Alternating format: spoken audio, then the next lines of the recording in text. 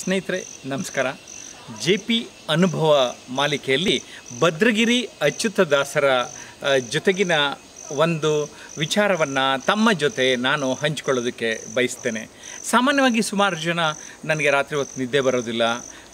ನಾನು ಸುಮ್ಮನೆ ಹೊರಳಾಡ್ತಾ ಇರ್ತೀನಿ. ನನ್ನ ಸಮಯ ತುಂಬ ವೇಸ್ಟ್ ಆಗುತ್ತೆ.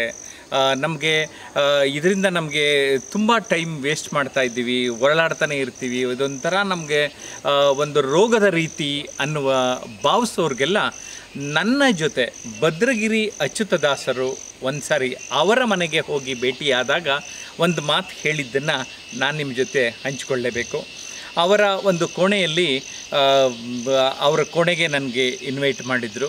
ಹಲವಾರು ಪುಸ್ತಕಗಳನ್ನು ತೆರೆದು ಇಟ್ಟಿದ್ದರು ನಾನು ಸುಮ್ಮನೆ ಕೇಳಿದೆ, ಸರ್ ಅಂದರೆ ಅರ್ಧರ್ಧ ಓದಿರ್ತೀರ ಸರ್ ಈ ಪುಸ್ತಕಗಳನ್ನೆಲ್ಲ ಅಂತ?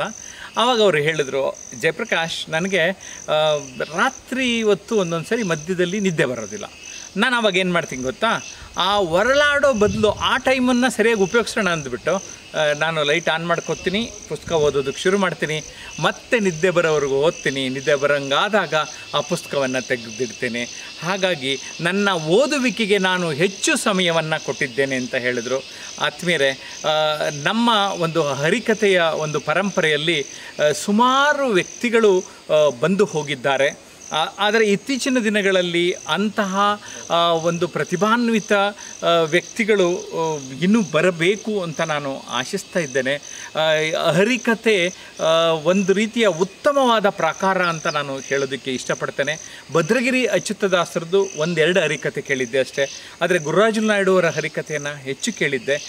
ಇಬ್ಬರಿಗೂ ಸಾಕಷ್ಟು ಒಂದು ರೀತಿ ಏನು ಹೇಳ್ಬೋದು ಅಂತಂದರೆ ಇವರಿಗೂ ಅವರಿಗೂ ತುಂಬ ವಿಭಿನ್ನತೆ ಇತ್ತು ವಿಶಿಷ್ಟತೆ ಇತ್ತು.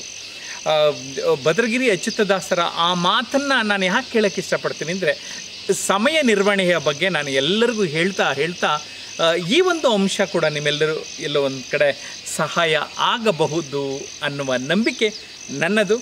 ಆತ್ಮೀಯರೇ ಈ ಒಂದು ಅನುಭವ ಮಾಲಿಕೆ ನಿಮಗೆ ಉಪಯೋಗ ಆಗುತ್ತೆ ಅಂತ ನಾನು ಭಾವಿಸಿದ್ದೇನೆ. ಈ ಖಂಡಿತವಾಗಿ ಈ ವಿಡಿಯೋವನ್ನು ಲೈಕ್ ಮಾಡಿ, ನಾಲ್ಕಾರು ಜನಕ್ಕೆ ಶೇರ್ ಮಾಡಿ ಜಯಪ್ರಕಾಶ್ ನಾಗ್ತಿಹಳ್ಳಿ ಯೂಟ್ಯೂಬ್ ಚಾನಲ್ನು ಕೂಡ ಸಬ್ಸ್ಕ್ರೈಬ್ ಮಾಡಿ. ನಮಸ್ಕಾರ.